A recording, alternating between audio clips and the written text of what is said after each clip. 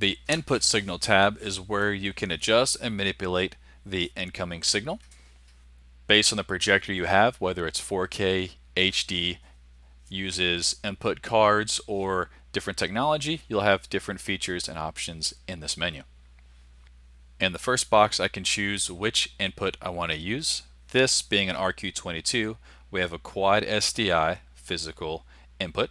We have two slots. This looks configured for four SDIs on the first slot, and the second slot is currently empty. And then we also have digital link. That is the Cat5 port on the side of the projector is capable of taking video over Cat5.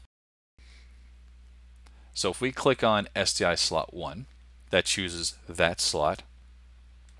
We can change the aspect ratio or the system selector, which would be the format, but it's, it's SDI, so we don't get a choice of format. Under zoom, we can do an internal or full mode. And what this allows us to do is zoom in on that input. Right? It's a type of cropping. We're, we're zooming in far enough to where we start cropping things off of the edge.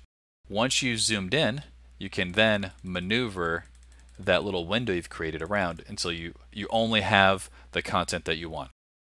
For a quick example, if you're doing a Skype call and you don't have a switcher or a device that can do the cropping easily via a layer action, we could come into our zoom and we could zoom in until we've essentially cropped out everything except for the person talking in the Skype.